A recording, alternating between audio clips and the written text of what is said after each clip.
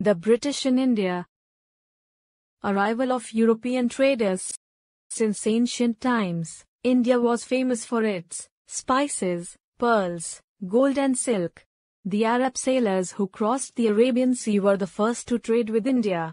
In 1498, Vasco da Gama, an explorer from Portugal, discovered a direct sea route from Europe to India by sailing around Africa.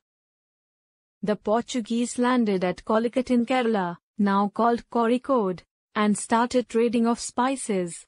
The Dutch, the English and the French followed and set up their own trading centers. To control the trade in India and earn more profits, traders started fighting amongst themselves. Finally, the British defeated the others. The British formed the English East India Company in the year 1600 for trading in India. They made trading centers on the western and eastern coasts. They bought mainly spices and textile goods at cheaper price from India and sold them abroad at high prices. British control As Mughal Emperor Jahangir allowed the British traders to establish their trading centers in India, they set up big godowns to store the goods. The first center was set up in 1608 at Surat, followed by Madras, Calcutta, Bombay and a few cities of Bihar and Bengal. The political situation in India was very weak, which gave an opportunity to the British to build forts and set up armies. In their trading centers, they claimed they were doing so to protect their trading centers, but they were preparing themselves to establish their rule in India. Sirajud-Dowla, the Nawab of Bengal, was against the building of forts around the British trading centers. He insisted that the British should demolish their forts. The British opposed the Nawab and fought a war against him in 1757. This war was known as the Battle of Plassey. It was fought under the leadership of Robert Clive. The British defeated the Nawab and established the British East India Company in India the British disunited the Indian rulers on the basis of caste and religion. They adopted the policy of divide and rule and ruled over the India for the next 100 years.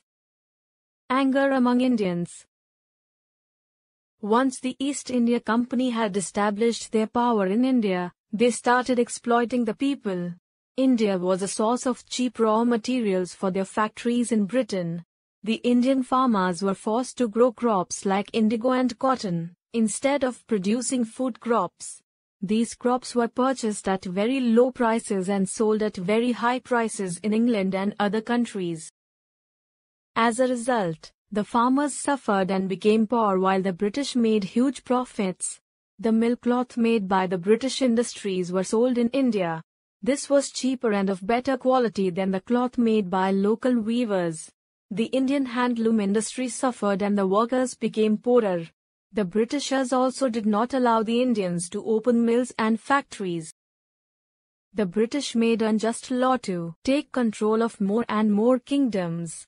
One such law was the doctrine of lapse which said that if a king died without a child, his kingdom would be taken over by the British. By introducing such unjust law and using unfair means, the British wanted to expand their hold over India, but the dissatisfaction and anger of Indians led to spark of revolt. Revolt of 1857, the first war of independence. Before the revolt started, there were several months of tension among the Indian soldiers because of the new rifle, called Enfield, they had to use. A rumor spread that the cartridges were greased with the fat of cows and pigs, this was against the religious sentiments of both Hindu and Muslim soldiers. Indian soldiers refused to use these rifles and revolted. This this sparked off a revolt which soon spread across northern India and became a mass rebellion.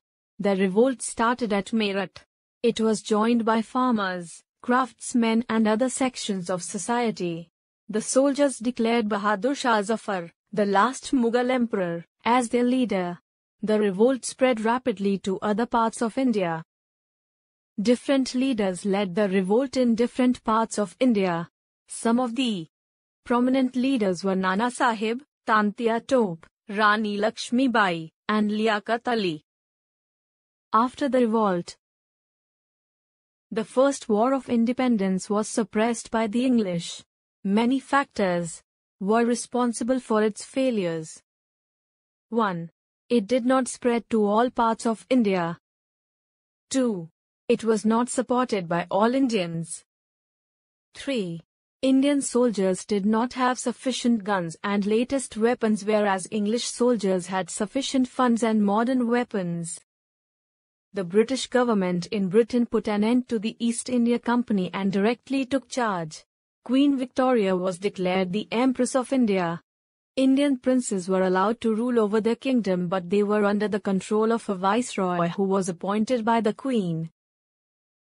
Bringing social changes Throughout the 1800s, the feeling of nationalism grew stronger among Indians. Modern education was introduced by the British. The educated Indians now began to demand many social and religious reforms.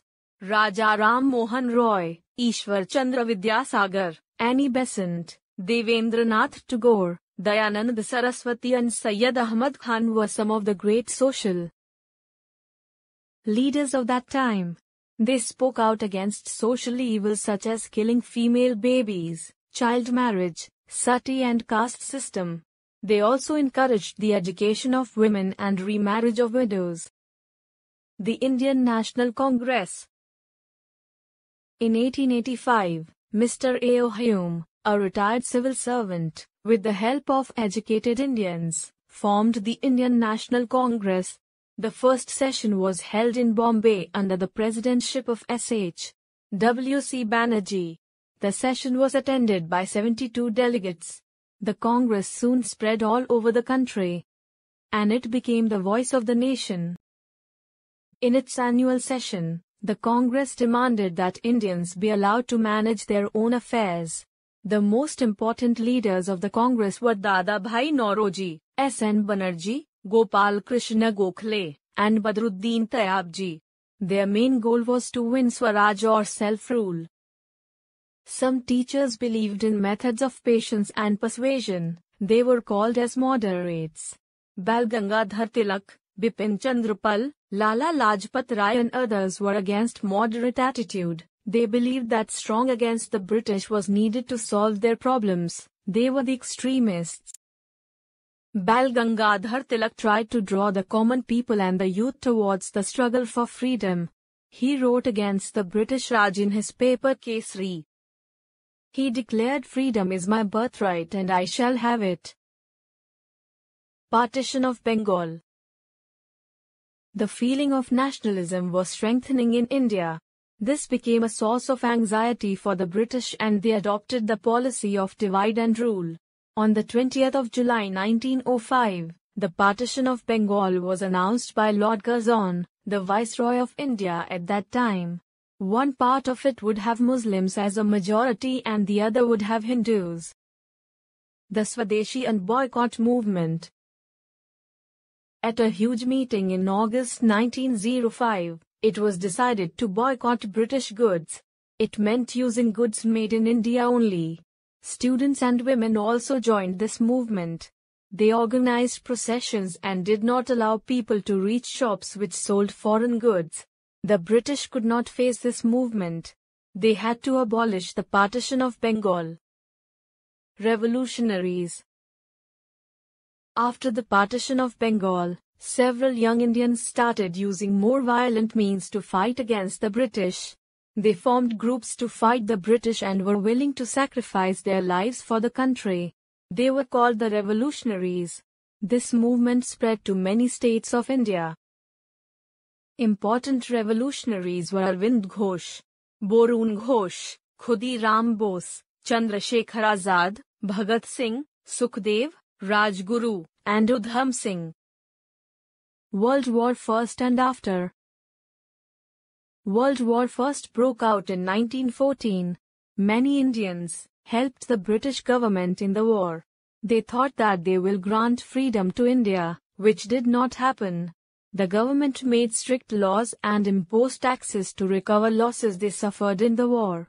In 1915, Mohandas Karamchand Gandhi, a lawyer, returned to India after a long stay in South Africa. He showed Indians a new way of fighting injustice. He believed that there is always a peaceful way of doing things. He took over the leadership of independence movement